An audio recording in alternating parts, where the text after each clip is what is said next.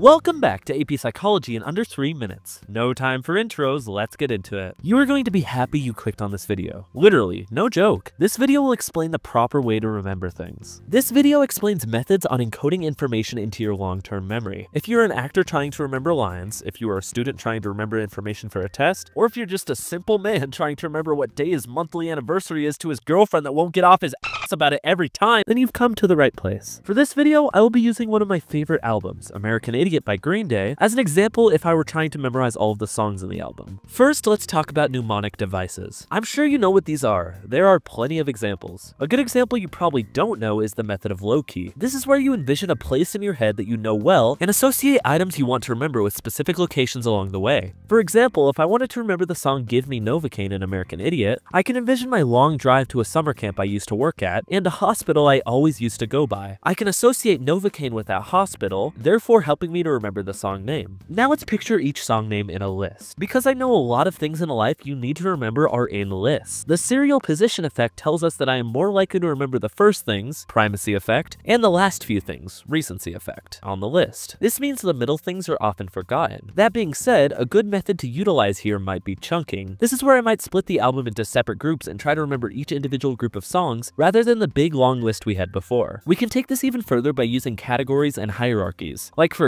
example, I can separate each song by the intensity, or I can separate each song by what is said in the lyrics, or maybe which songs I like more.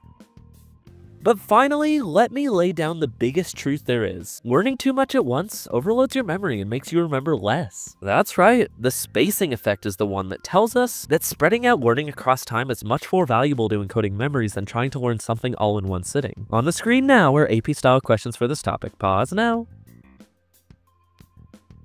I'll show the answers now. And I will see you in the next one.